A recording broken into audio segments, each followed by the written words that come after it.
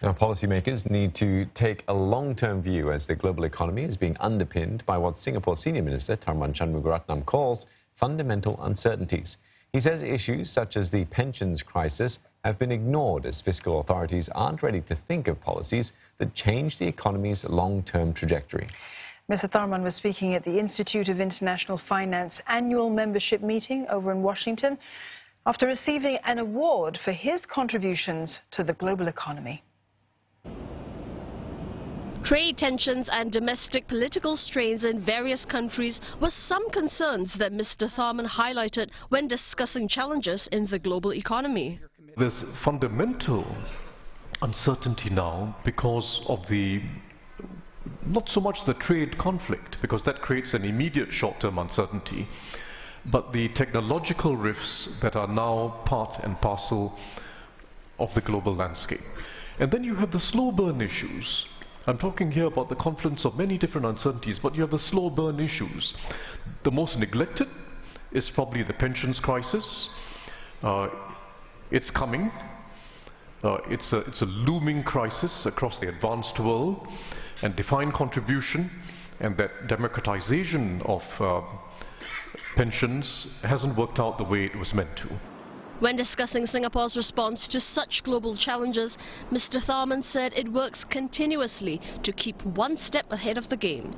He said that Singapore constantly looks at the rest of the world to observe best practices and partners with global companies to commercialize new innovations.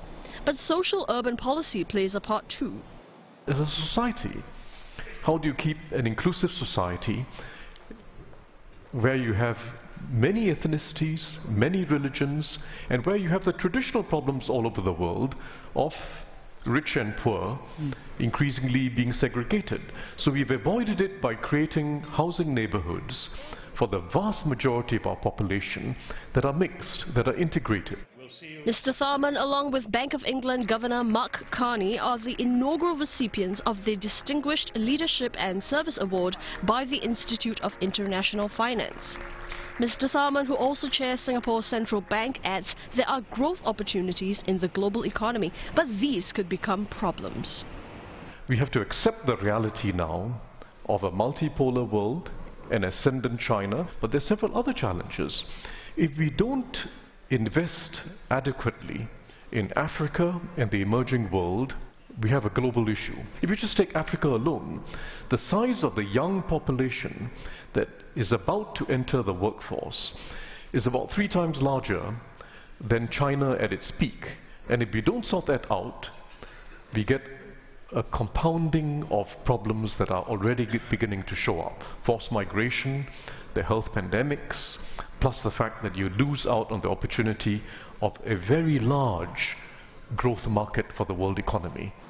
One way to achieve this is for policymakers to focus on regeneration and longer-term investment of public goods to benefit a larger segment of society. This, he says, will require trust to be created and earned with policies for inclusive growth.